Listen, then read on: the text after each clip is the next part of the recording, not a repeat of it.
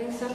Hoy lo hemos organizado desde, el Centro de Interpretación del Vino y del Azar porque hoy precisamente hace seis meses que inauguramos este, este centro, este equipamiento cultural que como bien veis lo, tengo a mi espalda, un lugar emblemático en la ciudad de Chiclana, concretamente como bien sabéis situados en la, en la Plaza de la Bodega. Cuando hace unos años nos marcamos este proyecto, pues ya lo vimos la luz hace. Estamos teniendo un balance en estos seis bastante, bastante positivo. Eh, son más de 11.000 personas las que han visitado este, este nuevo equipamiento y, bueno, que no son chiclaneros y chiclaneras los que visitan este, este, equipamiento, sino que son gente de diferentes municipios de Chiclana, eh, de diferentes provincias, inclusive de diferentes países cuando empezamos a hacer eh, balance de, lo que son el número de visitas que, venimos recibiendo a lo largo de, estos meses, eh, vemos que nos visitan del Reino Unido, Francia, Alemania, Italia, Suiza, Sudáfrica, Costa Rica. Y bueno, los comentarios que tenemos acerca de este, de este equipamiento son muy, muy, muy positivos. Además de tener visitas individualizadas, también eh, estamos llevando a cabo visitas guiadas. Visitas guiadas que nos piden que, bueno, que les expliquemos ¿no? que cómo, va, cómo funciona, ¿no? Eh, cómo, cómo, se ha llevado a cabo lo que es el vino, la sal. Y, y bueno, la verdad es que está teniendo bastante aceptación. Para más, mm, para más interés de diferentes colectivos, nos hemos puesto en contacto con diferentes colegios de Chilana, diferentes centros culturales, eh, asociaciones de vecinos y hemos invitado eh, a, los diferentes, a los diferentes vecinos a que vengan a este centro, que les expliquemos y que conozcan su historia, ¿no? su arraigo. Concretamente, hace cuestión de 15 o 20 días, eh, también se han acercado por aquí la Organización Nacional de Ciegos de, España, la ONCE, y nos han pedido que le traslademos una guía nuestra, o sea, lo que es una guía del propio centro, para ellos adaptarla y transcribirla al, modelo de Braille. ¿Por qué? Porque quieren hacer visitas guiadas con, con estas personas con esta discapacidad muy contentos de, que, bueno, de que día a día vengan a visitarnos tantas y tantas personas, como he dicho antes, más de 11.000 personas. Por otro lado, este centro eh, se han podido celebrar diferentes actividades, diferentes actividades como por ejemplo mesas redondas en la cuarta semana del estero en, noviembre. La Delegación de Turismo también organizó un evento con hosteleros, concretamente aquí en, esta sala.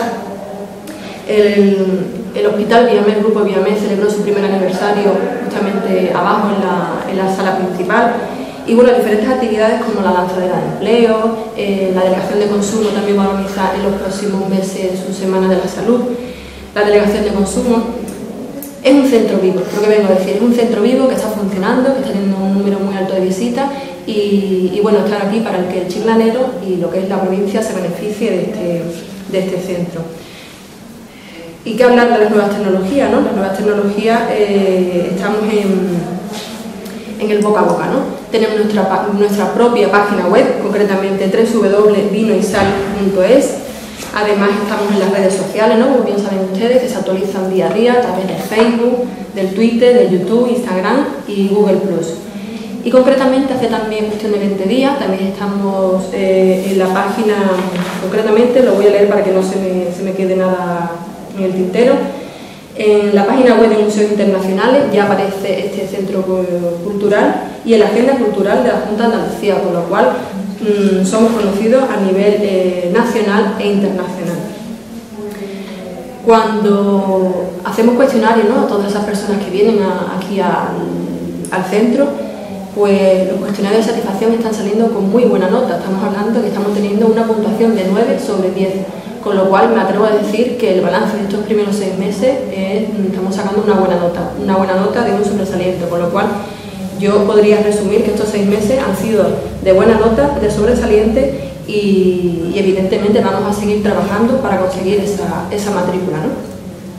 En definitiva, con, todos los datos que os he venido dando, también siempre no quiero que se me quede también otra cosita aquí en el tintero, se están preparando diferentes actividades didácticas con, los propios colegios de Chiclana, eh, para que eh, menores, mayores, adolescentes, cuando vengan aquí al, centro de, interpretación, puedan tener una interacción totalmente activa con, el centro. Y se se han preparado ya diferentes actividades didácticas para diferentes edades. Y, bueno, mm, cuando, como bien habéis visto, ¿no? cuando veis todas las, piezas que nos han donado ¿no? y que a día de hoy se está aún catalogando, porque son diferentes piezas las que se han catalogado, concretamente el viernes nos llegaron una colección de fotografías bastante importantes donadas al centro con lo cual también le doy las gracias a esos ciudadanos que están poniendo ese granito de arena en el propio centro porque nos creemos que cuando abrimos un centro pues mm, ya se queda abierto y ya con lo que hay es lo que hay que trabajar. Pues no, el día a día el propio chiclanero, el propio visitante nos dona, nos cede piezas, con lo cual está haciendo que este centro sea aún más importante y sea el punto de referencia en el turismo chiclanero. Por otro lado, algo también bastante importante fue que a finales de enero se trasladó la oficina de turismo aquí al, propio centro, con lo cual eh, también le ha dado un, valor añadido, ¿no? porque cuando cualquier visitante o turista cuando viene a nuestra ciudad y viene a ver eh, sol y playa, pues cuando, se, cuando llegan aquí al, propio centro, a la propia oficina de turismo, ¿no? que es el sitio referente, y ven este, este centro cultural, pues se da a conocer la cultura de Chiclana y que bueno que Chiclana no, no solo es sol y playa, sino que también mm, tenemos unas raíces y qué mejor manera de, demostrarlo a través de este, de este, centro de interpretación.